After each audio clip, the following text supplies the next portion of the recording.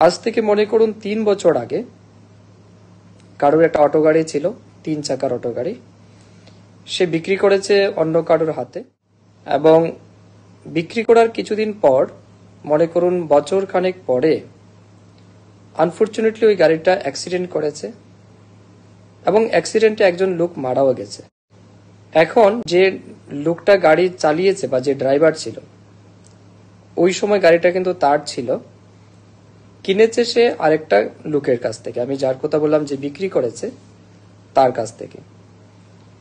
কিন্তু তাদের ওনারশিপ কিন্তু চেঞ্জ হয় নাই। অর্থাৎ গাড়ি যে তার নামে ছিল রেজিস্ট্রেশন তো তার নামে ছিল। তো যে সেকেন্ড যখন সে গাড়ি বিক্রি করেছে, তো গাড়ির রেজিস্ট্রেশন বা ওনারশিপ চেঞ্জ করে নাই। স্বাভাবিক কারণে যখন লোকটা মারা যায় গাড়ি অ্যাক্সিডেন্টে তখন কিন্তু ড্রাইভার পালিয়ে যায় এবং পরবর্তী সময় এলাকাবাসী এসে যারা মারা গেছে বা অ্যাক্সিডেন্ট হয়েছে, তাদেরকে হসপিটালাইজ করে পুলিশ আসে কেস হয়। তারপর গাড়ির নাম্বার দেখে একটা কেস রেজিস্টার্ড হয়। যখন কেস রেজিস্টার্ড হয়, তখন দেখা গেছে যে আগের যিনি গাড়ির মালিক ছিল, তার নামই ছিল রেজিস্টারে স্বাভাবিক কারণে সে গাড়ি না চালালেও গাড়ির যে অ্যাক্সিডেন্ট হয়েছে বা যে লোকটা মারা গেছে, সেখানে রেসপন্সিবিলিটি তার না থাকলেও কেস কিন্তু তার নামে গেছে। তো এমন ঘটনা বিভিন্ন জায়গাতে প্রত্যেক দিন ঘটে। কিছুদিন আগে আরও একটা ঘটনা আমার এলাকাতেই ঘটেছে, যে দেখা গেছে গাড়ি বিক্রি হয়েছে সেকেন্ড হ্যান্ড গাড়ি বিক্রি হয়েছে। মনে করুন আমি গাড়ি বিক্রি করলাম কারুর কাছে। অনারশিপ আমার আমার নামে আছে রেজিস্ট্রেশন আমার নামে আছে। কিন্তু আমি যার নামে গাড়ি বিক্রি করলাম, তার নামে রেজিস্ট্রেশন আমি ট্রান্সফার করিনি বা গাড়ির ওনারশিপ চেঞ্জ করিনি।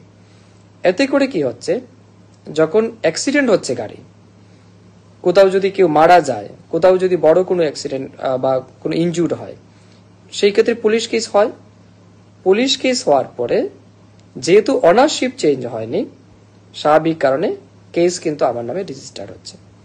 এবারে বিনা অপরাধে আমাকে কিন্তু এই যে মামলায় আমাকে ইনভলভ হতে হচ্ছে, যারা বিকটিম তাদের সাথে আমাকে মিউচুয়াল করতে হচ্ছে, এরকম ঘটনা যেহেতু আমার বিধানসভা এলাকাতে এক দুইটা ঘটেছে, তো আমার মনে হয়েছে এমন সমস্যা হয়তো বা রাজ্যের বিভিন্ন জায়গাতেই থাকতে পারে।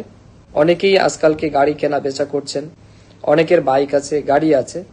তো যারা ফেসবুক পোস্টের মাধ্যমে যুক্ত হয়েছেন এবং হয়তোবা পরবর্তী সময় যারা দেখবেন, আমি আপনাদের সবার কাছে আবেদন জানাব, যারাই গাড়ি কেনা বেচা করছেন, অবশ্যই যার নামে গাড়ি তার নামেই রেজিস্ট্রেশন হওয়া উচিত, তার নামেই গাড়ির কাগজ হওয়া উচিত। যদি আপনি গাড়ি বিক্রি করছেন, কিন্তু আপনি রেজিস্ট্রেশন চেঞ্জ করেননি ওনারশিপ চেঞ্জ করেননি, এতে করে কি হবে? গাড়ি রাস্তায় চলবে যে কোনো সময় অ্যাক্সিডেন্ট হতেই পারে। যদি অ্যাক্সিডেন্ট হয়, তাহলে কিন্তু সেই সমস্যাটা আপনার আসবে। তাই আমি আবেদন করব, সমস্ত রাজ্যের যারাই গাড়ি চালান বা যাদের কাছে গাড়ি আছে বাইক আছে ইভেন যারা হয়তো বিপদে পড়ে বা আর্থিক সংকটে পড়ে গাড়ি বিক্রি করেছেন কারোর কাছে, যদি এখনও ওনারশিপ আপনারা চেঞ্জ না করে থাকেন, তাহলে অবশ্যই আপনার পার্শ্ববর্তী যেটা ডিস্ট্রিক্ট ট্রান্সপোর্ট অফিস রয়েছে ডিটিও অফিস যেটাকে আমরা বলি, সেই ডিটিও অফিসে আপনি যান এবং আপনার কি কি ডকুমেন্টস প্রয়োজন as per Tripura motor vehicles অ্যাক্টে যে সমস্ত ডকুমেন্ট প্রয়োজন আছে, সেই ডকুমেন্ট দিয়ে আপনি খুব দ্রুত নাম চেঞ্জ করুন, আপনার অনারশিপ চেঞ্জ করুন, যাতে আপনি আসন্ন কোনো সমস্যা থেকে সমাধান পেতে পারেন বা মুক্ত পেতে পারেন। আমরা দেখছি প্রত্যেক দিনই রাস্তায় কোনো না কোনো জায়গাতে কোনো না কোনো অ্যাক্সিডেন্ট ঘটছে, কোথাও লোক মারা যাচ্ছে।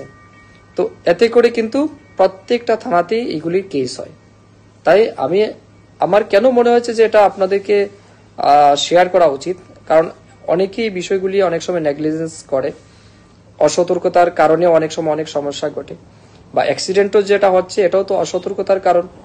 কোথাও সঠিকভাবে ট্রাফিক আইন মানা হচ্ছে না। কেউ ড্রিঙ্কস এন্ড ড্রাইভ করছে, যেটা আইনত নিষিদ্ধ। তো এগুলি থেকে আমাদের সতর্ক থাকতে হবে।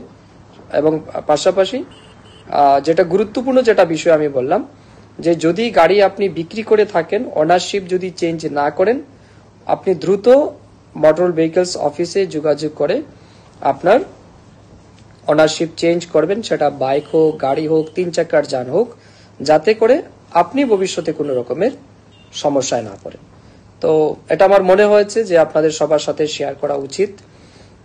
আমি দেখছি অনেক ফেসবুকে যুক্ত হয়েছেন। আমি নিশ্চিত বিশ্বাস করি আপনাদের মাধ্যমে সবাই সেই ইনফরমেশনটা পাবে। এবং সেটা শুধু ইনফরমেশন না, এটা আমি মনে করি একটা সচেতনতামূলক বার্তা। নিশ্চয়ই ত্রিপুরা ট্রাফিক পুলিশ এটার উপর অ্যাওয়ারনেস করে বা ট্রান্সপোর্ট ডিপার্টমেন্টও অ্যাওয়ারনেস করে থাকে। তারপরেও আমাদের আরও বেশি সচেতনতা বাড়ানো দরকার। আমি সবার সবার কাছে আবেদন জানাব যেই বা যারা গাড়ি বাইক কিংবা তিন চাকার যান চালান, সামনে আবারও আমাদের উৎসব অনুষ্ঠানের দিন আসছে। অবশ্যই আপনারা সতর্কভাবে গাড়ি চালাবেন, কেউ নেশা খেয়ে গাড়ি চালাবেন না, যাতে আপনার যেমন সমস্যা হয়, অপরের যাতে সমস্যা না হয়। তার পাশাপাশি আমরা দেখি অনেক সময় অনেক যুবকরা হেলমেট ইউজ করতে চায় না। পুলিশকে ভয় করে হেলমেট লাগায়, পুলিশ না থাকলে হেলমেট খুলে নেয়। মাথায় রাখতে হবে, হেলমেট আমরা যারা লাগাচ্ছি, এটা পুলিশের জন্য নয়, আমরা আমাদের নিজের জীবন সুরক্ষার জন্য লাগাচ্ছি। হেলমেট যখনই মাথায় থাকবে, আপনার যদি মাইনর অ্যাক্সিডেন্ট হয়, আপনার মাথা কিন্তু বেঁচে যাবে। বা মেজরের ক্ষেত্রেও। কিন্তু হেলমেট না থাকলে কিন্তু এটা পুরোপুরি রিস্ক থাকে। অতএব আমরা হেলমেট ইউজ করব। ট্রাফিক আইন অবশ্যই আমাদের মানতে হবে। এবং যেটা গুরুত্বপূর্ণ বিষয় বললাম, যদি কেউ গাড়ি কেনা বেচা করে থাকেন আপনি গাড়ি কিনেছেন, পরবর্তী সময় আপনার আর্থিক সমস্যায় বা যে কোনো অসুবিধায় আপনি গাড়ি অন্য অন্য কারোর কাছে বিক্রি করেছেন সেই ক্ষেত্রে খুব দ্রুত আপনি আপনার রেজিস্ট্রেশন যার কাছে বিক্রি করেছেন তার নামে করান এবং ওনারশিপ চেঞ্জ আপনাকে করতে হবে। এবং এটা অবশ্যই দায়িত্ব নিয়ে করতে হবে, যতই ঝামেলা থাকুক না কেন সেটা আপনাকে করতে হবে যাতে ভবিষ্যতে কোনো রকমের সমস্যা আপনার উপর না আসে। আমার মনে আছে আমার বিধানসভা কেন্দ্রের একটা মালাকার ছেলে। আমার বিধানসভা কেন্দ্রের গোকুলনগর এলাকায় গাড়ি অ্যাক্সিডেন্ট হয়েছে। গাড়ি কিনেছে কুমারঘাটের একজনের কাছ থেকে, আমি নামটা ভুলে গেছি তার নাম। এইবারে যখন অ্যাক্সিডেন্ট হলো যার নামে গাড়ি ছিল, তার নামে কেস গেছে হোয়ারেস তার তিন বছর আগে সে গাড়ি বিক্রি করেছে আরেকজনের কাছে। পরবর্তী সময় তার নামে যখন কেস যায়, যে গাড়ি চালিয়েছে, সে পালিয়ে গেছে, সে যোগাযোগ করছে না, সে রেসপন্স করেনি। পরবর্তী সময় আমি নিজে তাকে টাকা দিয়ে সাহায্য করেছি। সে তার পিতৃ সম্পত্তি থেকে মানে কিছু জায়গা বিক্রি করে।